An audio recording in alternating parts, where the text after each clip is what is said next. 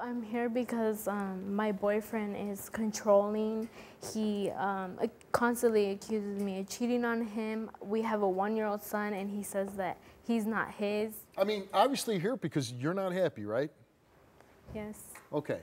And I, I mean, I understand at one time you maybe you fell in love and he was really nice, but that all changed, right? Yeah. Okay. And since it's all changed, how long would you tolerate him being that way, him being controlling, him constantly accusing you of cheating? How long would you let that go on for? Well, I still have faith in him, and I'm I'm not I don't want to give up on him. That's why. So you, what are you hoping for? That he eventually changes? Yeah.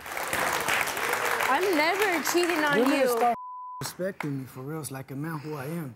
I'm not a little kid no more.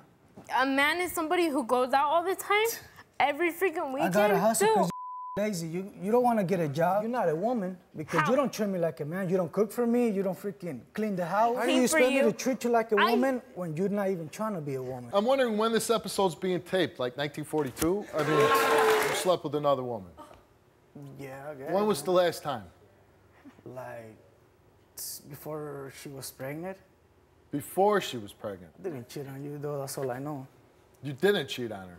I know he did. So you went from cheating on her and now you didn't cheat on her. Before, because we're on and off. Oh, you know? You're on and off. Yeah, so. Since the son, have you ever cheated? Since your son was born? No. Never. Have you ever cheated on Tony after you became pregnant? You answered no. Have you cheated on Tony since your son was born? She answered no. Are you currently cheating on Tony?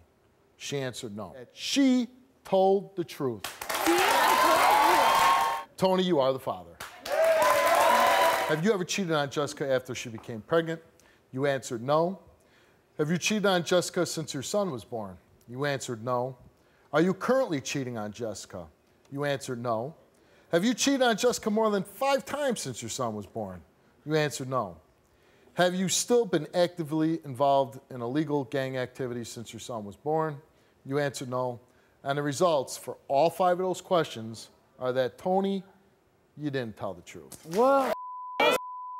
You're always telling me that you're out with your friends and they're girls. That's wrong. Tony, that. Tony, it's That's wrong. Are you That's freaking wrong. me? All the time you freaking accuse me? All the That's time that you accuse me, you put me through all that hell because you're doing it.